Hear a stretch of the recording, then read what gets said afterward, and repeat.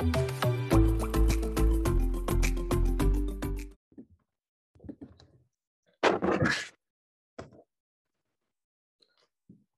привіт.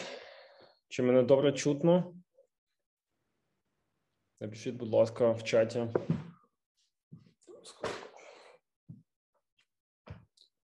Так, бачу плюсики, значить, все добре. Ну тож, всім привіт. Мене звати Влад Багнюк, я маркетинг-менеджер шведської аутсорсингової компанії Developer Shore. І хочу всім подякувати, хто приєднався до нас на вебінар.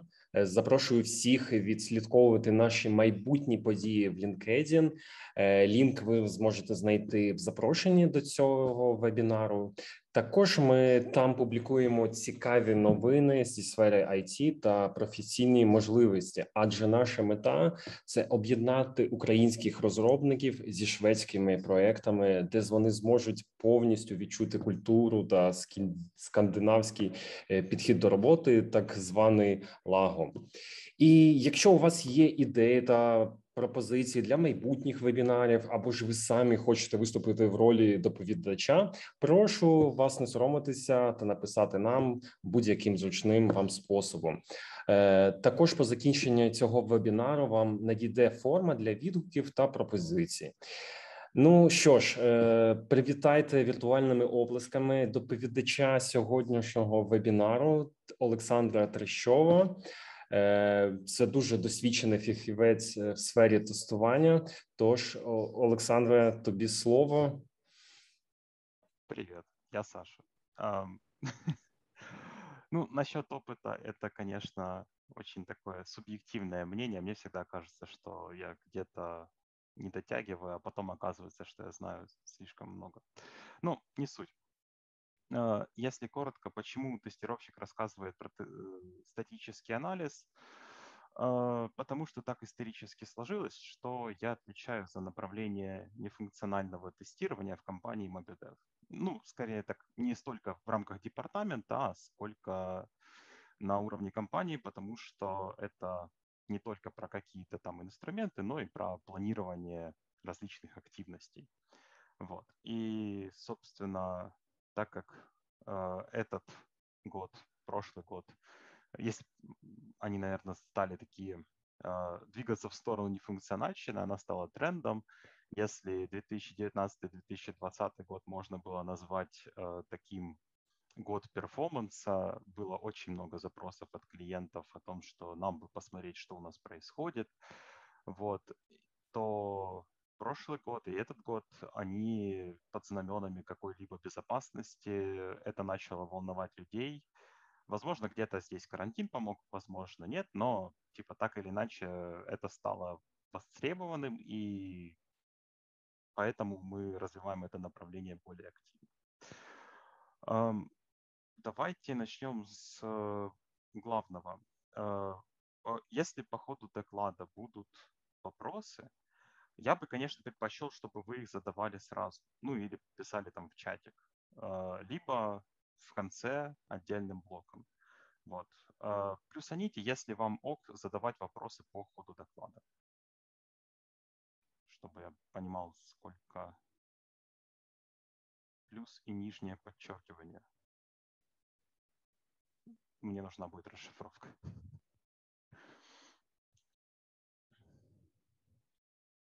Понял, спасибо.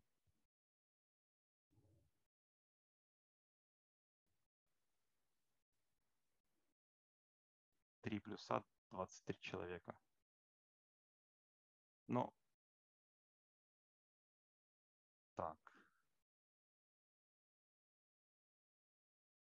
Это, наверное, можно уже назвать каким-то большинством. Хорошо. В целом доклад, э, я бы сказал, эм, достаточно легко прерываемый, то есть э, я, скорее всего, не буду видеть Zoom, потому что я буду шарить презентацию, но э, по идее, если Zoom умеет подавать какие-то звуки при нотификации, то, ну или я буду просто свечиться на чатик по модульно.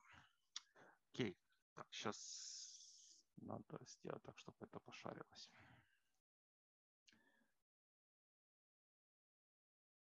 По идее, вы сейчас видите мой экран вполне успешно и презентацию.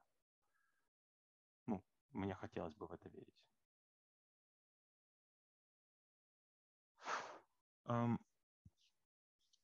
Почему у нас э, в событии стат-анализ, а тут у нас планирование безопасности, планирование тестирования безопасности?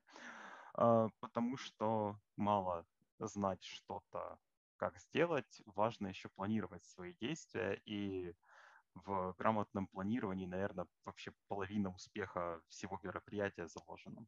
Поэтому э, я хотел бы начать с небольшой такой вводной вообще, как сейчас э, происходит тестирование безопасности, от, какие у него есть предпосылки, и потом мы перейдем, собственно, к инструментарию, и потом я покажу, собственно, примеры, как это все выглядит наяву и что с этим можно делать.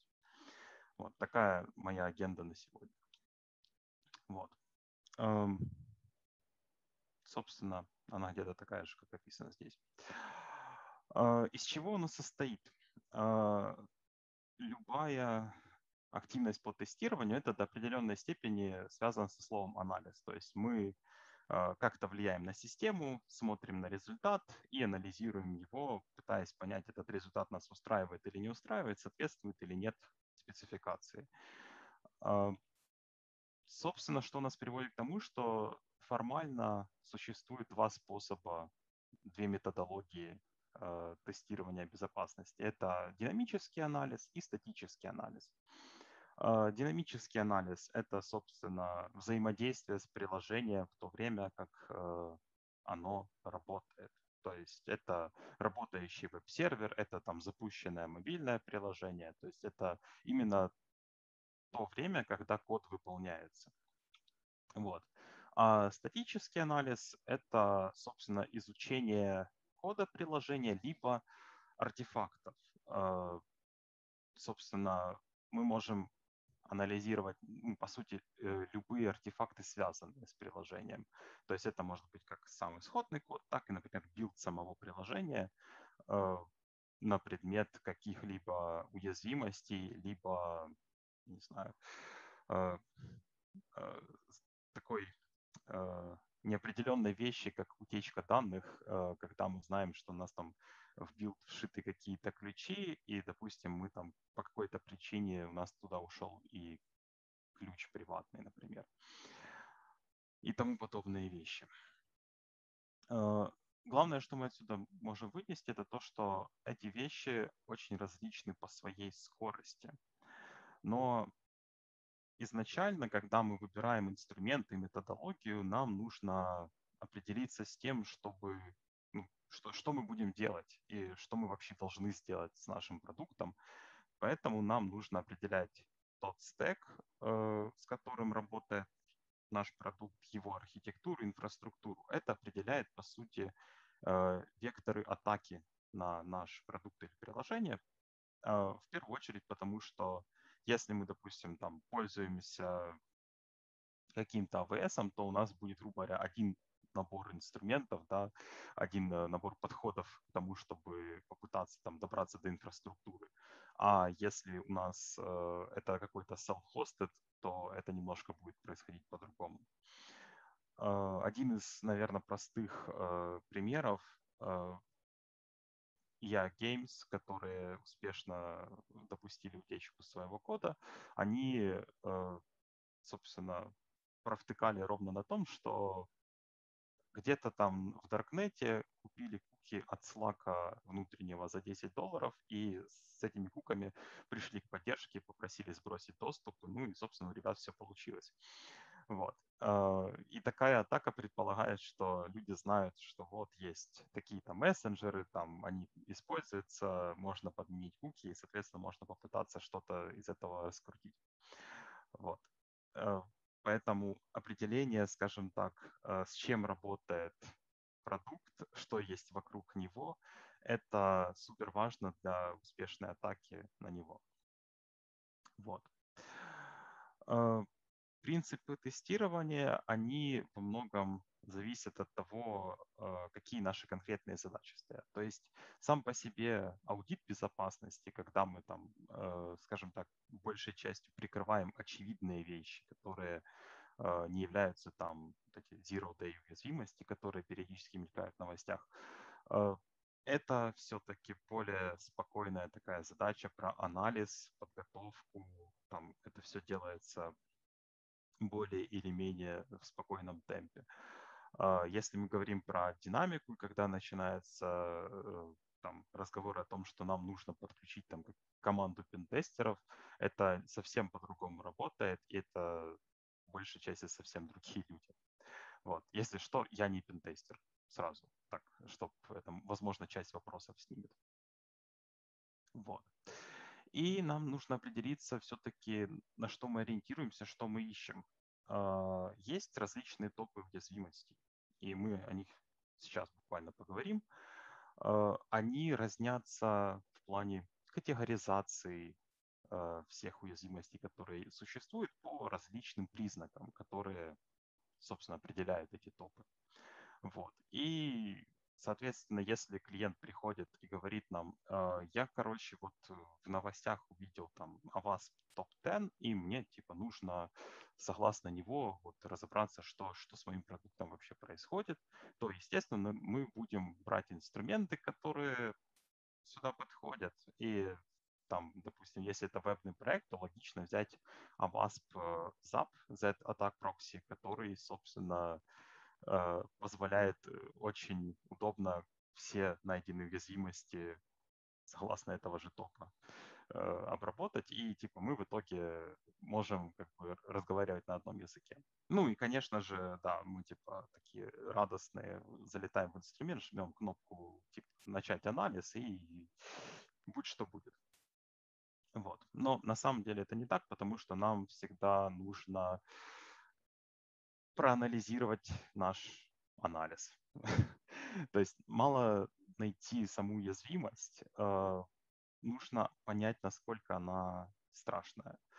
А еще лучше даже попробовать ее руками, чтобы понять, действительно ли она там работает. Потому что все-таки есть э, такое понятие, как э, false positive, когда мы видим срабатывание, которого на самом деле как бы нет. То есть все условия для того, чтобы алгоритм решил, что есть уязвимость, они существуют, ну, типа они присутствуют, все классно, но на деле выполнить э, эту уязвимость невозможно. Вот. Э, я такое видел достаточно часто. Э, это нормально, потому что это все-таки автоматические инструменты анализа. И, пожалуй, тут самый такой важный кусочек – это то, что это нужно говорить клиентам, потому что они чаще всего будут паниковать, если увидят изначальный репорт, в котором там 800 тикетов э, и типа все они красные почему-то. И, в общем, это выглядит очень жутко. Но на деле все несколько более прозаично и не так страшно. Вот. Собственно, что, что и как это делается? А, существуют разные топы, их много. А, почему мы часто слышим про WASP? А, потому что это сообщество, в первую очередь, которое создало как и сам топ, так и инструменты для работы с ним, с ним и вообще с проектами, а, так и то, что он, наверное, такой себе self-named э, стандарт индустрии. Вот. Поэтому чаще всего мы э, будем видеть две вещи. Это реестр CVE. Вы эту аббревиатуру, скорее всего, видели в новостях, когда там находится какая-то новая уязвимость. У нее есть CVE, дефис там и ее номер. Вот. Это, по сути, э, грандиозный реестр всех уязвимостей, которые были найдены человечеством. И, соответственно, они там все задокументированы, и на них можно ссылаться. Ну и, собственно, на них все и ссылаются, по большому-то счету. Этот реестр курируется федеральным правительством США, поэтому это, в принципе, такая, ну, в меру доверенная организация, на которую можно действительно ссылаться. Вот. Э, вариантов, какие бывают топы, просто очень много. Вот. Они зависят как они зависят, и они подвязаны до определенной степени под какие-то более специфичные вещи. То есть у CVE, собственно, есть топ уязвимости, есть какие-то уязвимости там подвязанные под язык, например. То есть это во многом реально зависит от какой-то специфики продукта проекта, поэтому тут не обязательно фиксироваться на Avasp, но типа можно в целом посмотреть, что актуально именно для вашего продукта или проекта. Вот. Итого у нас получается такая логическая цепочка. У нас есть некоторый топ, который мы выбрали, исходя из наших потребностей. Мы изучаем наше приложение, делаем анализ нашего, собственно, результата вот той работы, собственно, приложения. Ну и принимаем решение по найденным уязвимостям, и это отдельный процесс, он может быть достаточно длительный, потому что э, ревью всех найденных уязвимостей это может быть достаточно долго. И тут важно все-таки на это потратить время, потому что это во многом определит, э, скажем так, бэклог на ближайшие какие-то месяцы. Э, Поэтому здесь нужен, собственно, скорее всего, техлиды разработки, project менеджер и тот, кто делал этот анализ.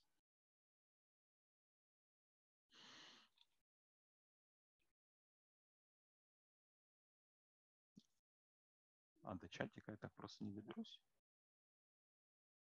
Интересно. Um, Влад, мне нужна будет твоя помощь. А, нет, я, кажется, нашелся. Так, вопросов нет. Все, шик. Тогда едем дальше.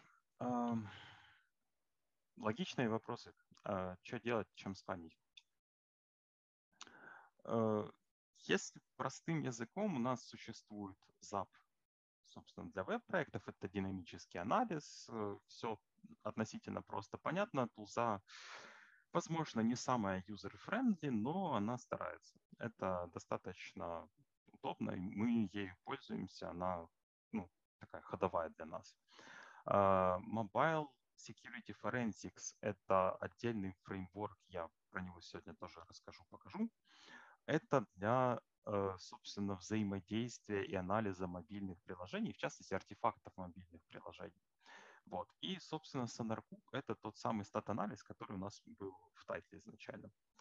А, почему так? А, потому что все эти инструменты, ну, первые два — это вообще open source решения, которые как бы еще и бесплатные до кучи. Вот. А, SonarCook не бесплатный, но он open source, и, собственно, они монетизируются за счет различных плюшек-рюшек, но при этом ну и там есть ограничения по языкам, но мы сейчас до, этого дойдем. Э, и там, собственно, есть такой э, нюанс, что э, есть open source плагины, которые можно ставить, собственно, в рамках этого сервера, и типа это чудесно работает. В принципе, если у вас есть там время, которое вы можете на это потратить, то вы можете сэкономить себе денежку. Вот. А можно типа не экономить денежку, просто пользоваться тем, что есть. Э, оба варианта рабочие, типа кому как удобно, какие-то клиенты хотят за это платить, какие-то не очень. Э, иногда, скажем так, переговоры заходят в тупик. Вот. Э, как же работает стат-анализ? Он работает быстро. Он работает невероятно быстро. И я бы сказал, что самая близкая аналогия – это юнит-тесты я подозреваю, что там есть какое-то количество разработчиков э, сейчас на том конце экрана. Это также быстро. То есть, э, грубо говоря, э, там, не знаю, средненький проект на пару миллионов строк э, там, условного PHP, э, это займет меньше минуты. То есть вполне шустрая штука, и поэтому она не задерживает деплои, всякие э, все экшены, скажем так, которые в CI висят. И это одна из тех причин, почему э, очень хорошо добавлять, собственно, этот анализ в рамках э, CI пайплайна. То есть вы узнаете о том, что что-то пошло не так, еще, по сути, до деплоя в какое-либо окружение. И это порой ну, может вас очень сильно выручить. ну, понятно, горячка, все такое, и типа на, на какие-то вещи можно забить, но это помогает находить баги до самого деплоя, до того, как это все дойдет до тестировщика, и это во многом улучшает качество самого продукта. Вот.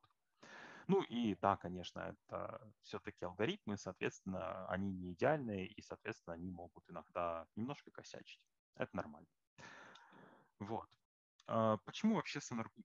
А, потому что это один из тех инструментов, который достаточно понятный. То есть э, стат-анализ, если смотреть на те тузы, которые есть на рынке, э, есть инструменты от, э, скажем так, ребят типа IBM или Hewlett Packard, но они очень сильно спрятаны за paywall, и туда без трехчасового мета с Excel не достучаться. И какие-то, скажем так, профиты, преимущества относительно Сонаркуба не очевидны. Вот. Есть инструменты, которые э, берут и используют модули логики Сонаркуба даже. Это тот же Codacy, который использует правила сонаркубовские, например. Вот. И это достаточно забавно. Э, есть сам по себе Сонаркуб, который в целом э, живой, он развивается, и это работает. То есть даже в рамках скажем так, использование чисто бесплатных версий, да, там каких-то, то есть без каких-то вложений, там, ну, разве что в рамках инфраструктуры, потому что его нужно где-то хостить. Вот. А, можно вполне себе выйти на то, что вы там пройдете security аудит каких-нибудь ребят типа Банка Америки, например. Вот. Мы такое смогли сделать. А, это был интересный опыт. То есть это все как бы вполне реально. То есть, э, скажем так, то, что инструмент бесплатный, не делает его плохим. Вот это важно.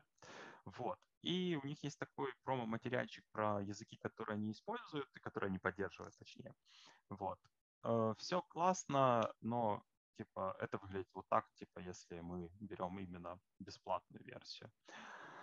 Эм, для нас, как для аутсорсеров, для компании Mobidev, э, этих языков, которые остаются, собственно, более чем достаточно, потому что единственное, где мы пересекаемся прям, и это не, не очень приятно, это Objective-C, э, потому что есть еще ios проекты, которые находятся на поддержке, и там все-таки еще общ есть, и с ним приходится считаться.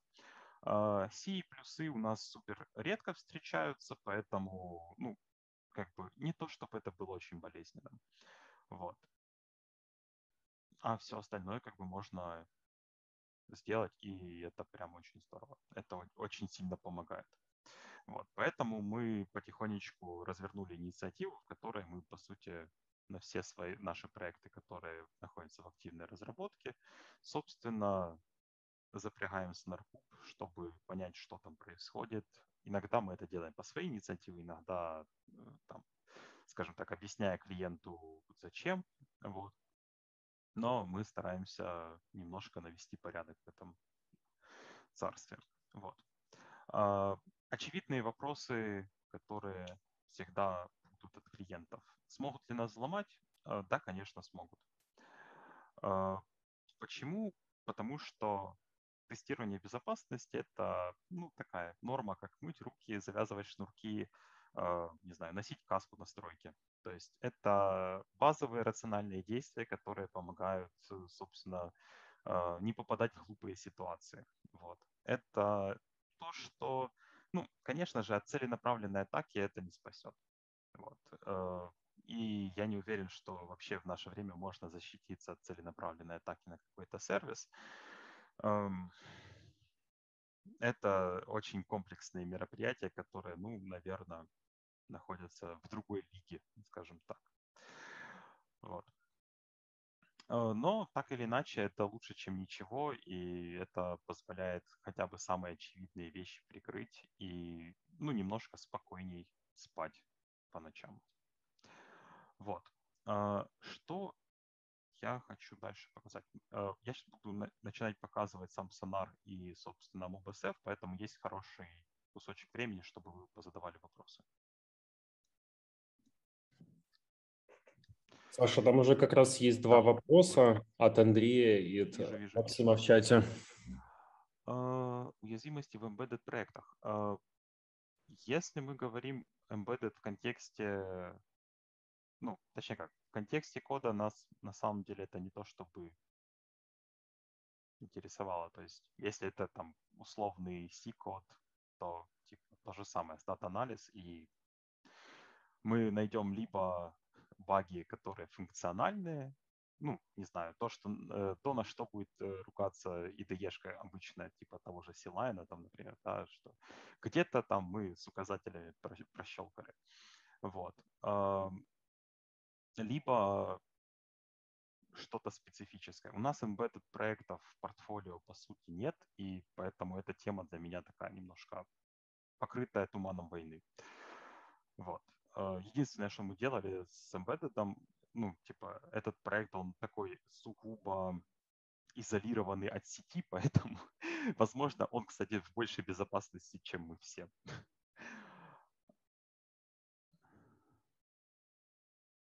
Ну вот.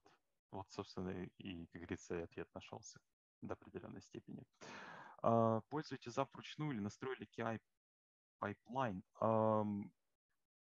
Мы его пользуем и вручную, и встраиваем а, в CI на Jenkins. Вот. Сейчас а, э, перейду к следующему. Суть в том, что мы все равно пробуем запом искать вручную что-то, чтобы оценить хотя бы верхнеуровнево, что происходит и типа где мы оказались. Вот, потому что если мы там увидим сразу какие-то там сотни high priority, то надо что-то делать. Это уже такой call to action, э, как-то повлиять на происходящее. Вот. А в дальнейшем, чтобы, собственно, то, что мы сделали однажды, не посыпалось, так сказать, не, не присыпалось пылью веков там и всего такого, мы это закидываем на CI, мы настраиваем правила, DevOps уже у нас научились пользоваться этими инструментами, вот, и, собственно, репорты сыпятся на почту ответственным людям, как бы, и поэтому это работает. То есть э, самое важное, что в репортинге можно вынести, э, офлайновый файлик, вот этот, который там сгенерен, это по сути уже мертвая инфа, она уже не самая актуальная. Поэтому вот какая-то живая админка, она всегда немножко лучше. Но при этом, э, если мы реально будем закидывать всех людей письмами, которые вот действительно говорят о том, что у нас там катастрофа, и нам надо что-то с этим делать, э, я бы сказал, что типа письма с Дженкинса или с любого вашего CI, который у вас есть э, в компании, это must-have. Без этого оно все потеряется, забудется, и через там условных э, пару месяцев никто и не вспомнит о, о том, что у нас что-то такое есть. Это очень грустно, когда ты приходишь на проект, начинаешь смотреть на процесс и находишь там какие-то, там, не знаю, тесты, которые там никто не запускал, или какой-то CI, который почему-то умер, но никто не понял почему. Поэтому это, это важная часть для того, чтобы это поддерживалось. Ну, и, естественно, кто-то должен за это отвечать, и желательно не команда, а конкретный человек. Иначе будет, э, что если ответственны все, то не ответственен никто, и как бы на это все заканчивается. Вот. Я подозреваю, что разговор про MobSF. Э, если я нашел некоторые уязвимости, как мне объяснить заказчику их важность, показать, как за их счет я могу взломать систему? Это хороший вопрос это немножко выходит за рамки скопа сегодняшнего, но, собственно, давайте... О, оно даже может так зависеть волшебно.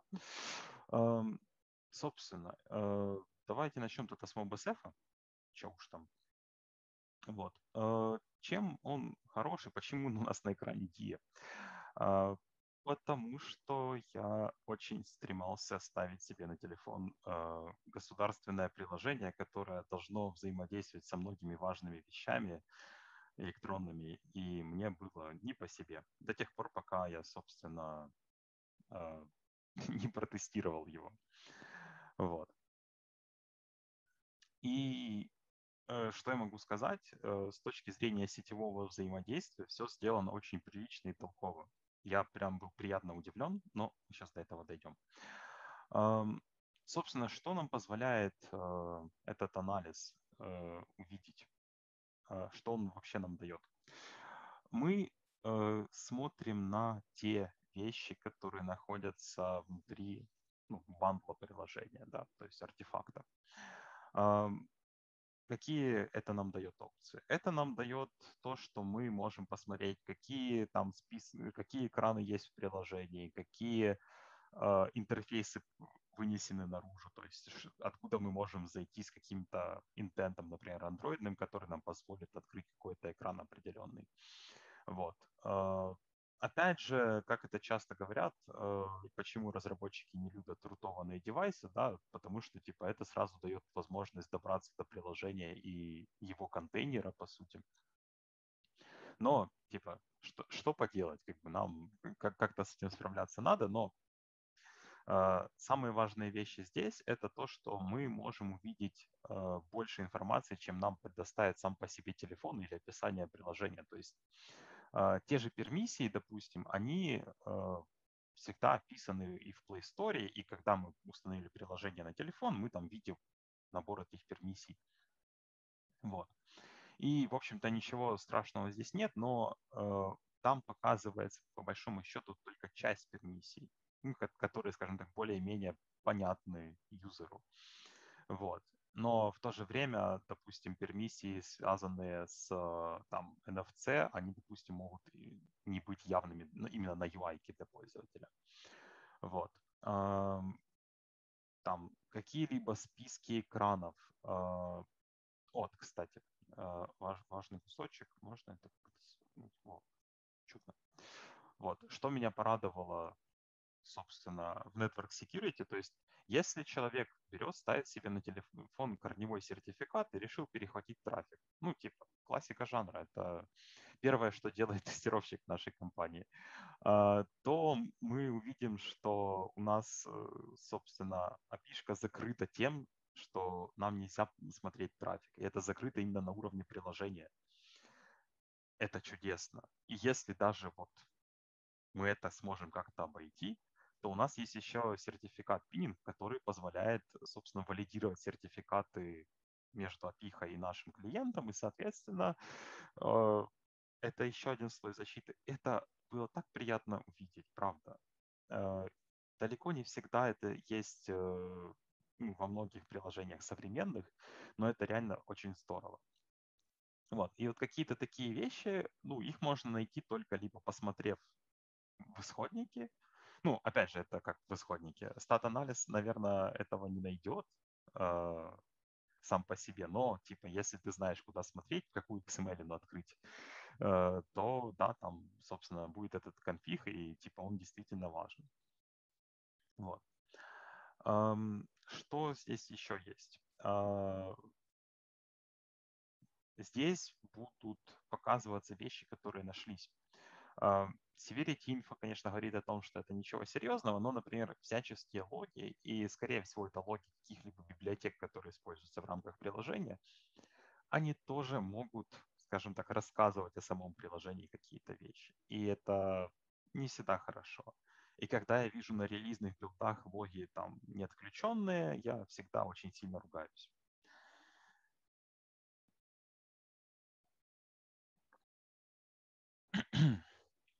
Потому что это вообще стыдоба, детский сад, и так делать не нужно. Сейчас, тут много листать. Вот. Опять же, какие-то вещи, которые, допустим, для меня были бы неочевидны, это если есть у нас какой-то генератор случайных чисел, то он на самом деле псевдослучайный. И это тоже потенциально уязвимость. Если кто-то научится подбирать ваши там пины, да, то типа ничего хорошего из этого не выйдет. Вот, в таком духе это, собственно, разбирается вот весь тот код, который, да, мы там, условно говоря, декомпилировали, преобразовали обратно в Java и типа проанализировали. Вот.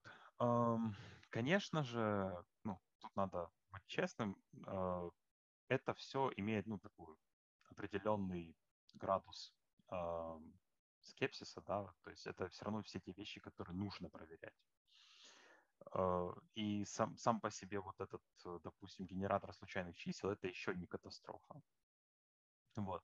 Но это потенциально та вещь, о которой можно подумать и попробовать что-то с ней сделать. Вот. А, по поводу а, самого по себе динамического анализа, точнее, ну как, если у нас есть некая уязвимость, допустим, ну, скажем так, допустим, это очень, не знаю, какой бы пример такой привести.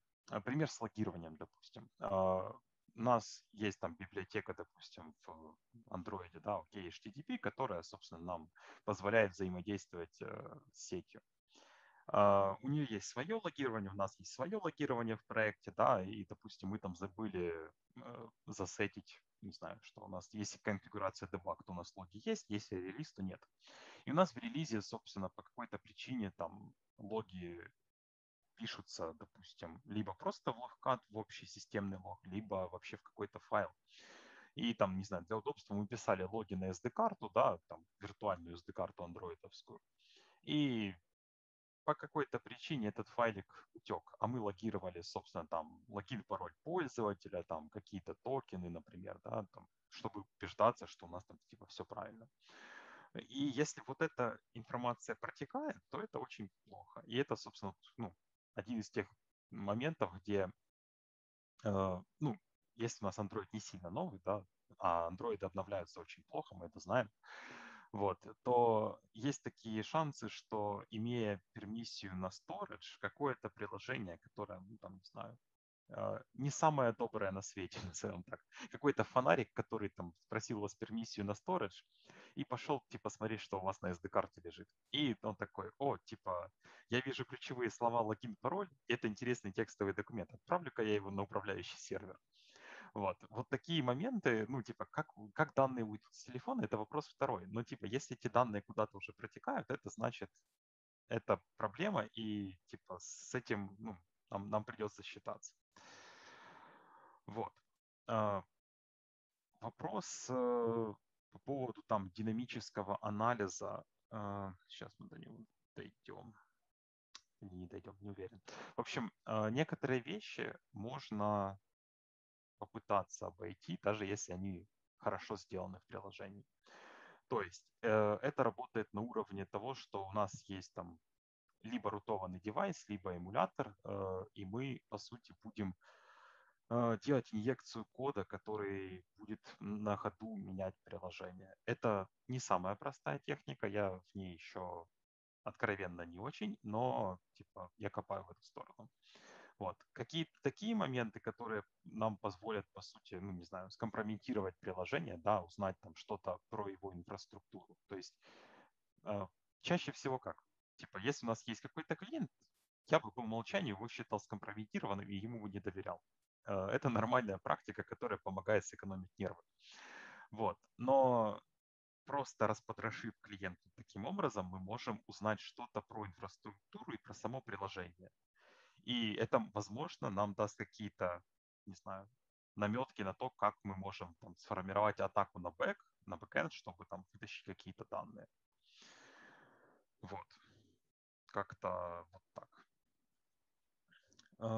Что еще здесь хорошего есть? А, здесь есть, э, собственно, а, штука, которая очень прикольная, которая мне понравилась. А, здесь присутствует э, проверка, которая проверяет подключение дебаггера. То есть, чтобы э, даже в попытке подключить дебаггер к работающему релизному билду, а, ничего у ребяток не получилось. Это тут тоже есть, и это тоже меня очень сильно порадовало. Вот. А, вот эта штука, которая а, так называемый, ну, типа, мы не работаем в эмуляторе, ну, это на самом деле такая, это скорее театр безопасности, это достаточно легко обойти. Вот, но все равно они пытались. Это, как говорится, приятненько. Вот.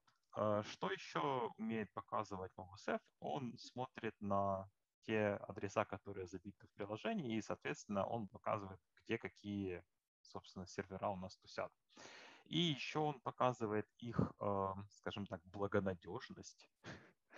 Вот. Что, собственно, нам заодно мы можем посмотреть, да, что там есть. У нас есть какая-то часть с Google, я не уверен, э, какая, но, скорее всего, это взаимосвязано с тем, что они используют Firebase. Вот, у нас есть отдельный endpoint, который отвечает за сертификаты, их перевыпуск, какая-то аналитика живая, да, и типа сам, сама по себе опишка. То есть на первый взгляд... Э... А, нет, тут есть еще, извините. Неудобно с таким звуком. Оу, неприятно. Вот. То есть у нас есть весь список того, что делает наше приложение, куда оно может ходить. Вот. Конечно, это не гарантия того, что там не подгружаются какие-то еще endpoinты или какие-то другие домены, но типа мы в первом приближении можем на это посмотреть, и это лучше, чем ничего. А, ну, собственно, это уже гугловые штуки. Вот. Ну и, кстати, кроме прочего, если одна из тех штук, которые не всегда очевидны, но типа, вот этот адрес э, собственно, вот этот домен, это, по сути, Firebase BD. И она тоже закрыта даже от внешних, скажем так, попыток туда постучаться, что меня тоже очень сильно порадовало. То есть э, есть очень неприятно большое количество баз данных Firebase, которые открыты для чтения. И если настроить там кроулер, например, да, там искать, э, не знаю, по там firebase.com, там поставить впереди там какой-нибудь wildcard типа звездочки, да, и пытаться выгружать JSON, то можно найти очень много интересных данных, которые просто лежат в открытом доступе. Но это такое. Вот. А, собственно, да. Ну и тут есть а, базовое описание того, что типа эти сервера были замечены там, как, э, не знаю, был забавный эпизод у меня в жизни, когда у моей жены украли телефон, и из-за того, что на симке не было пин-кода, попытались вводить аккаунты. И дальше как бы было э, видно, там в Телеграме упало сообщение, что вот там с вот такого айпишника попытались залогиниться, там все дела, ребята, примите действия. А, я начал смотреть, что это за IP-шник, и оказалось, что это VPN-сервер, который очень мутный и им очень часто пользуется для прикрытия себя. Вот, то есть а, какие-то такие моменты здесь бы, ну, это отображалось, что это какой-то подозрительный сервис, сервер. А, вот. Ну, естественно, стат-анализ нам позволяет достать все строковые вещи, которые находятся вообще внутри приложения. Вот. Э, чаще всего это какие-то хардкодженные урлы. Ну, типа, в этом нет ничего плохого. Вот. Э, то, что еще можно было бы поискать, это всяческие секретки, но на самом деле здесь нет ничего э, ужасного. Здесь вот, собственно, пример того, как false positive что-то попадает, да, это вот типа у них по какой-то причине там статусы и какая-то локализация сюда упала. Вот, вот эти два ключа, они, э, к сожалению, бесполезны, и типа с ними по большому счету ничего сделать нельзя. Вот. Ну и, собственно говоря, э, вот это все можно доставать руками. То есть есть для этого отдельные инструменты, но MobSF хорош тем, что он комплексный, и он это все делает за тебя. Вот. Ну и, собственно, всяческие такие мелочи, которые могут натолкнуть на какую-то мысль, это какие библиотеки используются. Это может быть полезным, потому что если так мониторить э, новости, там появилась какая-то уязвимость под э, какую-то конкретную библиотеку, о, мы можем попробовать, потому что она здесь используется. Потому что библиотеки обновляются неохотно обычно, и, типа, возможно, у нас будет окно, в котором мы там можем что-то сделать. Вот, по поводу динамического анализа. Э, я, э, я не уверен, что у меня сейчас получится это быстро стартануть. Я давно не, не грузился в эту OS.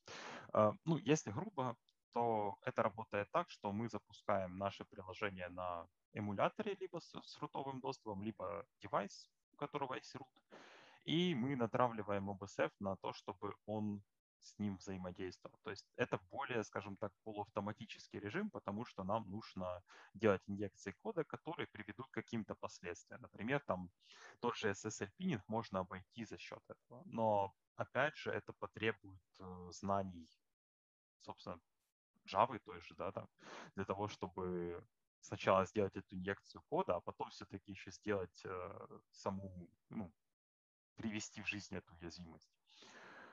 Вот, то есть это ни разу не просто, это требует скиллов. Э, у меня пока таких еще не, не особо есть. Вот. Если что-то есть по MBSF, спрашивайте.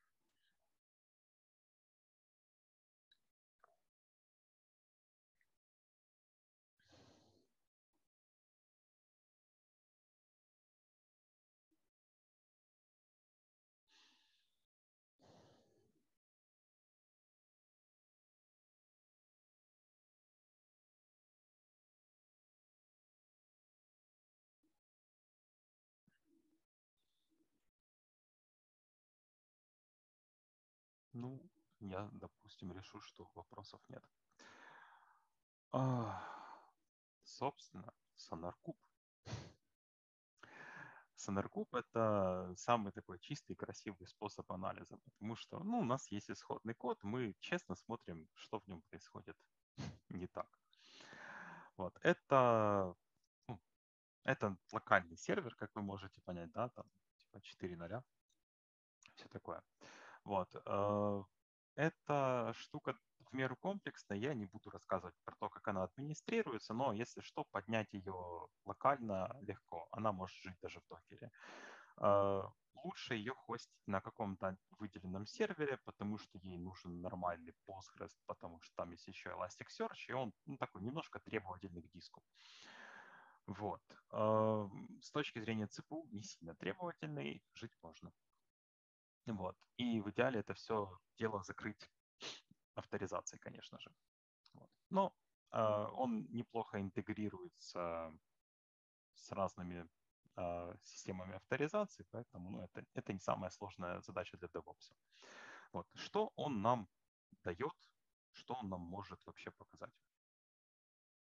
Эм, он нам может показывать некоторые э, функциональные баги. И, естественно, все эти функциональные баги должны быть пересмотрены конкретным разработчиком. Вот, потому что только ему понятно до конца, типа, какой-то контекст и что вообще происходит и почему так вышло.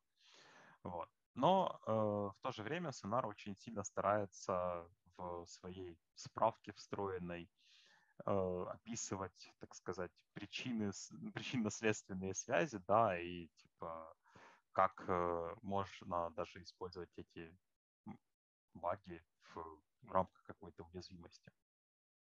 Вот, поэтому это, это та справочка, которую очень э, удобно почитать, скажем так. Вот. Э, к сожалению, в, в этот тестовый проект по какой-то причине багло не нашлось и это немножко грустно. Ну ладно. А, если смотреть, так сказать, на то, с чем он работает, то это просто такая же категория тикетов, вот, а, как и у всех других. То есть тут есть наши любимые топы, то есть если здесь появляются они согласно топа Авасповского, там А1, А2, А5, вот. И, собственно, тут будут перечислены все CVE-шки, которые входят в эти топы. То есть можно сортировать так, как тебе удобно.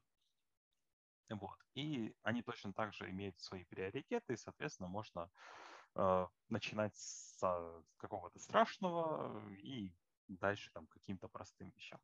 Иногда, конечно, он находит такие себе, ну, типа странные вещи, но честные странные вещи. То есть, например, у нас была э, статическая HTML без каких-либо инпутов, э, но мы ее почему-то по какой-то причине отдавали по HTTP. И типа с одной стороны, да, это плохо, типа э, запись вебинара будет, она, по-моему, идет, если мне ничего не, не меняется. Вот. Эм, и, собственно говоря, типа, вроде да, это HTTP, там нигде ничего не проверяется, но у нас нет инпутов, оно и страшно, и не страшно. Вот. Иногда забавно видеть, как находятся баги, которым уже много-много лет, и ими никто до сих пор не воспользовался, и прям как-то становится от этого немножко легче. Вот. Но так или иначе, это все э, будет агрегировано здесь. Вот. Э, в целом, может, на даже, не знаю,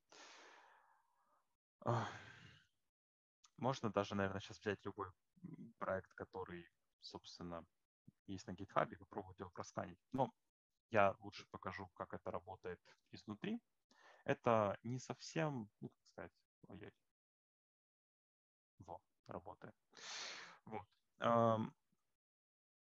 Sonar — это, по сути, тоже клиент-серверное приложение, ничего нового. Да? А, по сути, у нас есть некий сервер, который у меня тут запущен. Чего ж тебе так плохо-то, родненький? Вот. А, это Java-приложение. А, текущая версия Sonar ожидает Java 11 и выше. Вот. Но, типа, не то чтобы что-то плохое. Вот. В контексте сканера, который, собственно, делает всю работу. А, ну вот, собственно, кстати, пример, да. Типа, мы сканили вот это приложение, и, типа, все это заняло там чуть меньше 42 секунд. Ну и мы там скушали меньше 100 мегабайт памяти. Невероятно. По современным меркам очень скромная штука, я бы сказал. Вот. А, что нам нужно для того, чтобы начать вообще работу с ним? А, у нас есть а, такая штука, как Sonar Properties. Это, по сути, файлик, в котором мы складываем все, что нас интересует относительно этого проекта. То есть мы должны указать там имя проекта, где лежат наши сорцы. Если это компилируемый язык, то нам нужны промежуточные скомпилированные файлы, то есть наши классы, да, и типа сказать, где живет сонар и с каким токеном мы туда можем залогиниться. Все. Все остальное можно оставлять по дефолту. В этом нет ничего странного, стыдного, потому что у собственно, э, типа условной Java, да, у нее там есть 461 правило, э, которое отвечает за качество, и этого, ну, чуть ли не за глаза. То есть можно, конечно же, правила настраивать под себя. Можно их создавать, модифицировать.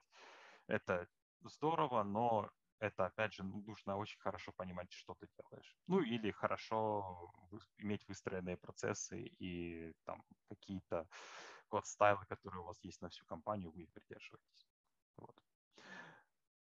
В целом, э, если все эти профайлы настроены, все это работает э, чудесно, то это просто работает. Вот. Конечно же, есть э, минусы там, бесплатной версии. Это то, что переключение между ветками формально невозможно. Для этого нужно ставить отдельный плагин. Вот. Но это все до определенной степени мелочи по сравнению с тем, скажем так, профитом, который приносит Sonar, когда ты понимаешь, что у тебя в приложении есть много чего, о чем ты даже не подозревал.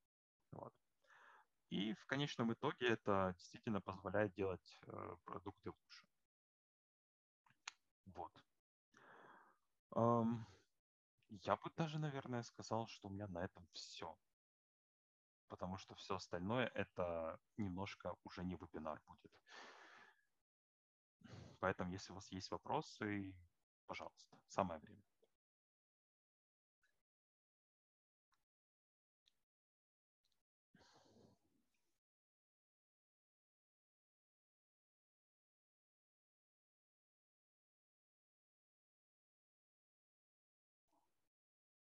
На здоровье.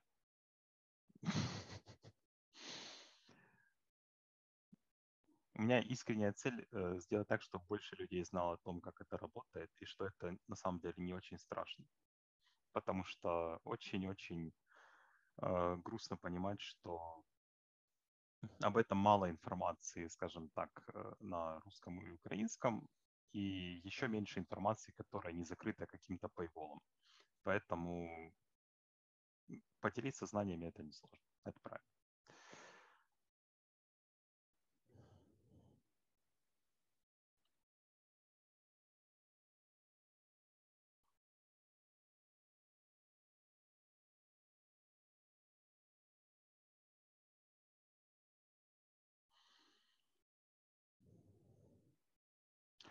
Окей. Okay. Uh, если на данном этапе ничего не придумалось, э, в любом случае, я подозреваю, где-то там мелькала ссылка на LinkedIn и меня самого, поэтому вы меня там все равно можете найти. Вот. И, типа, если у вас появятся вопросы, как говорится, feel free, прийти в личку, я, может, что-нибудь подскажу. Продолжение. А, в контексте.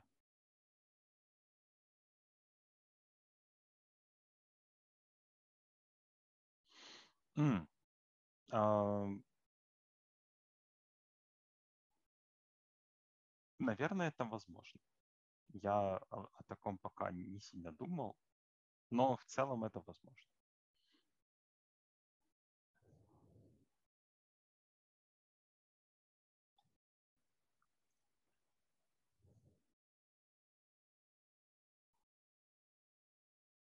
В целом, я бы сказал даже так, э, ну, прям уроки какие-то или какие-то курсы, да, там, это, ну, не знаю, это не несет прям грандиозной пользы, возможно, в чем-то. Я бы советовал поставить себе цель и к ней идти.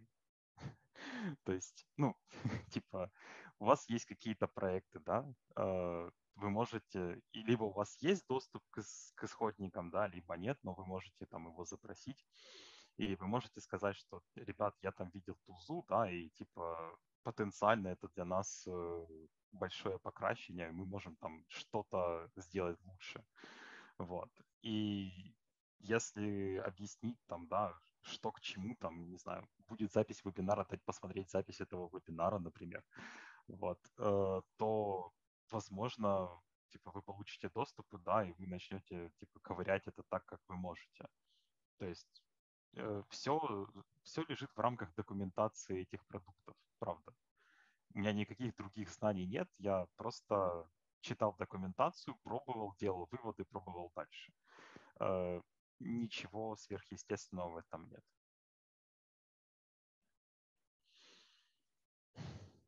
Да, я постараюсь продолжать в том же духе. Мне кажется, работа такая. Окей, хорошо. Тогда спасибо за внимание. А, я надеюсь, что вы услышали что-то новое, и вы что-то из этого всего примените у себя, и у нас где-то станет чуть более безопасней. Э, в наше время это было бы неплохо. Zoom, вернись.